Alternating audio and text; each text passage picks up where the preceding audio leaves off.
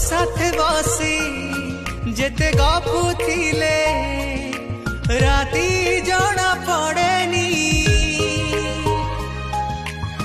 রাতি সারা খালি প্রেম